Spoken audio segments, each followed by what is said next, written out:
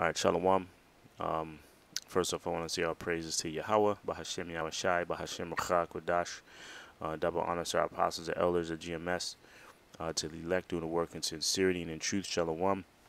Um, this is an article here. I believe I, yeah, this was in the group chat.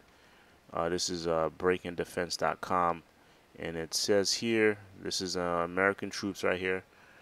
I'll read this. Well, I'll read the title. It says Army spreads wings with Dark Eagle hypersonic missile hardware. So this new missile here is called the Dark Eagle. it's funny in the name too. I, I just realized Dark Eagle, Obadiah, right? Who who who calls themselves the eagle? Who who uses the eagle as their image? You see? Matter of fact, let me let me go there. Uh, Obadiah, right? Obadiah. Obadiah. Right, this is uh, Obadiah verse 4. Though thou exalt thyself as the eagle, and th though thou set thy nest among the stars, thence will I bring thee down, saith the Lord. You see? The most so th this is what America they they put that image of the eagle as a re representation of themselves you see, it's all over their dollar bill. If you go to their um, museums or hell on on certain army lapels, right? They have what? They have that eagle there, right? I believe on the on the American flag they have a uh, on the on the top of the American flag on that pole they have what? An eagle. You see? That's speaking about America. And what the what did the Most High say? He said, "Thence will I bring thee down," saith the Lord. You see. Anyway, that wasn't I wasn't even really going to bring that out, but uh, yeah. So this is um a weapon. This is their weapon. Really, it's the Most High's weapon because it's uh it's his technology. He he uh instilled in the minds of the Smiths, the modern day Smiths or the scientists Alright, but this is what the Most High is going to use to destroy the nation of Edom, destroy the Edomite kingdom.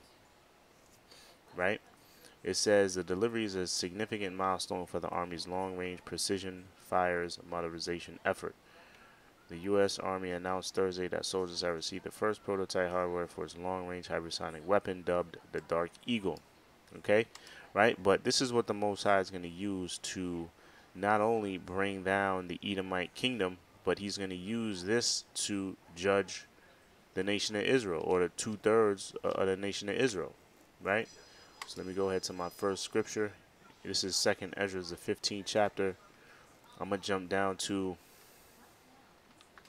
the 22nd verse, right? Because in, in, amongst our people, or especially in them damn churches, they they like to say that, oh, the Most High hates sin but loves a sinner or whatever. This scripture and plenty other scriptures say otherwise, right? This is first as uh, I'm sorry, second Ezra 15 and 22. My right hand shall not spare sinners. You see, my right hand shall not spare sinners. So just that first line right there should should instill fear in the nation of Israel. It should instill fear in two thirds of Israel, so-called Negroes, Latinos, and Native Americans. But the problem with them is, and the reason why they're part of that two thirds club is they don't have a healthy fear of the Lord. That's that's what's missing. They don't fear the Lord enough. Hence, they continue in their wickedness. Hence, they're willfully, willfully ignorant. Hence, when you tell them to do right, they can't do right. They continue to do wrong.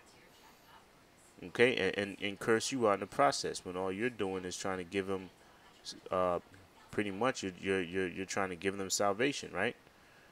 You know, you try to tell them who they are, the Most High. You you you basically you give them the gospel, but they reject it, right?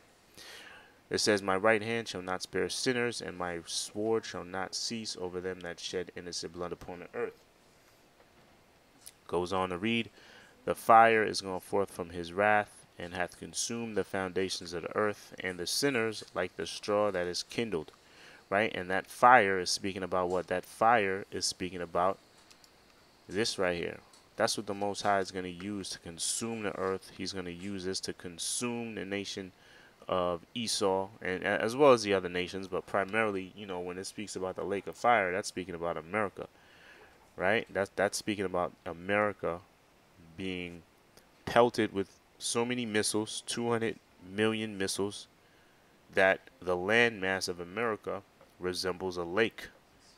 It, it resembles a, a, a ocean of fire, and that's exactly what's going to happen. Okay, so Esau he thinks he's gathering up weapons for his defense, right? Really, it's for his demise. He might they have this and other weapons. They might not even be able to shoot shoot all of them all. Well, we know they're not. You see, because the attack isn't going to come from all nations. All nations is is going to be is going to the Most High is going to instill. All right, all the all the all the nations to what? Uh, uh, um, use their weapons that the Most High created. He's going to use their weapons on America. He's going to have them point their missiles, their silos over here to this country, the North Country, to America to destroy it. Why? Because that's what the Most High wants to do. You see? Um, but part of that, part of that stubble, matter of fact, it says it right here.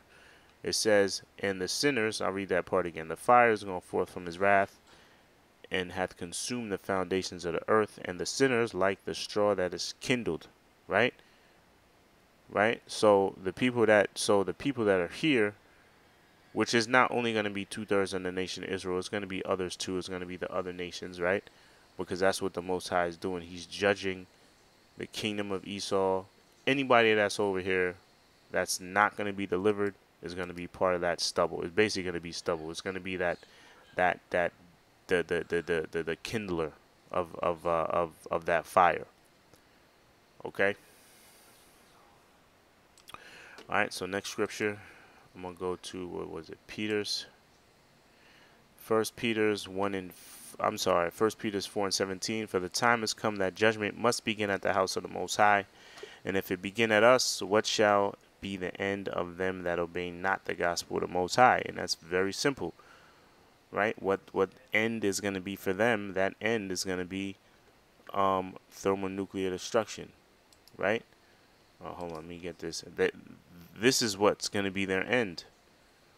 Okay, they're going to have a missile with their name on it, man. Right. So the Most High is not only going to judge Esau. He's he, he's not only going to take down the, the nation of Edom. He's also going to judge two thirds of our people. He's going to judge two thirds of you so called Negroes, Latinos, and, and Native Americans. So, I mean, look, if anytime, anytime you think about going off or you think you might be getting weak in the spirit, just just think of this. Just think of this is not worth a missile because to take to be part in a lake of fire, to be part of that that that stubble, to be part of what kindles that fire and makes it grow, that's that's that should be enough to put fear in anybody. Okay? If you if you need a little, you know, a, a spiritual booster, watch some videos, read, as well as just think, man, it ain't worth a missile. I don't I don't want to be part of that uh that lake of fire, and that should be enough to kick your ass in a gear. You see? All right, I'll leave you with that. I'll leave this in the description. Uh, Lord willing, you brothers and sisters were edified. Uh, until the next show, Shalom.